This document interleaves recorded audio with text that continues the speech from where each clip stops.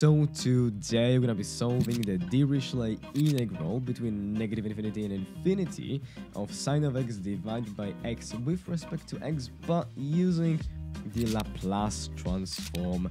For the first time on this channel we're gonna be using the Laplace transform in order to solve well anything so it's gonna be huge I guess well, let's roll. So how are we supposed to do it?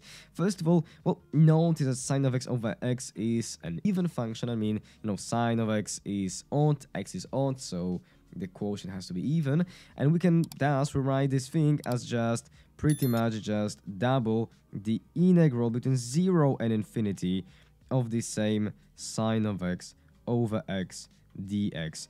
And actually, I would like to make this thing right here a function of some parameter t and then use a Laplace transform on it rather than this guy right there because well, this interval is not quite um, say comfortable for me yeah? So I would like to make myself a function i of some parameter t let's say. There's gonna be the integral between 0 and infinity of sine of t multiplied by x all divided by x it's to be all with respect to x. And now I would like to perform the Laplace transform of this function. So it's going to be the Laplace transform of my function i of t is going to be, well, regularly, normally, the integral between 0 and infinity of e to the power of negative some kind of an s times my t times my function i of t dt but that's the same thing as just the integral between 0 and infinity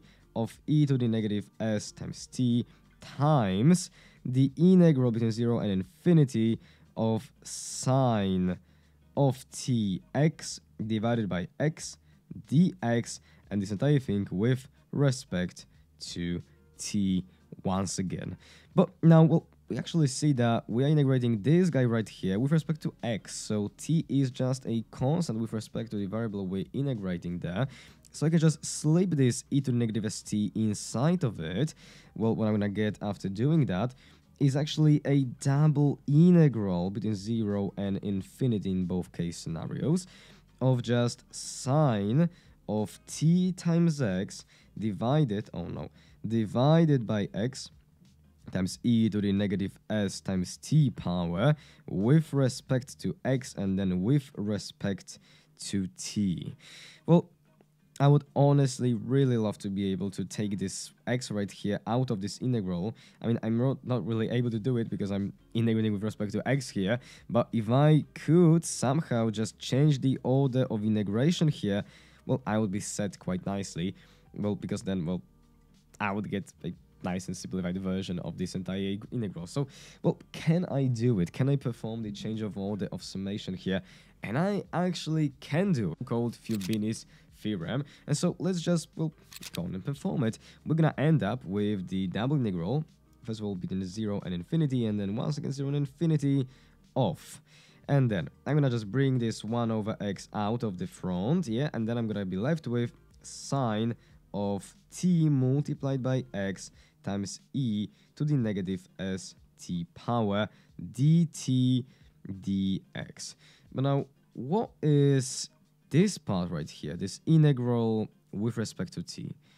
This is just the Laplace transform of sine of t times x for some parameter x. But we know what it is. I mean, we know our Laplace tables, I guess. So it's going to be x divided by x squared plus our s squared. Okay, well that's absolutely awesome because now we can just well plug it in back in our integral, getting that is all equal to the integral between 0 and infinity of 1 over x times the Laplace transform the sine of t times x, so x divided by x squared plus s squared. That's going to be all with respect to my x. Awesome, but now I can just go on and cancel out those x's and be left with just the plain old integral between 0 and infinity of 1 over x squared plus s squared dx.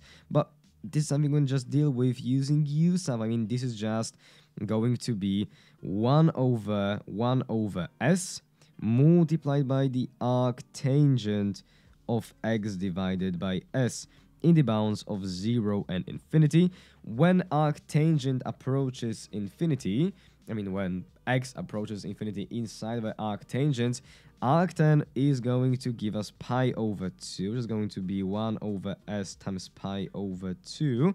And when arctan is given a 0, it spits out a 0. So this is going to be our answer. And so we see that the Laplace transform, that the Laplace transform of our original function i of t is going to be the same as just 1 over s times pi over 2. And so what we now need to do in order to well retrieve our original integral, the Dirichlet integral, is we have to apply the inverse Laplace transform on it. So I would like to apply the inverse Laplace on both sides of this equality.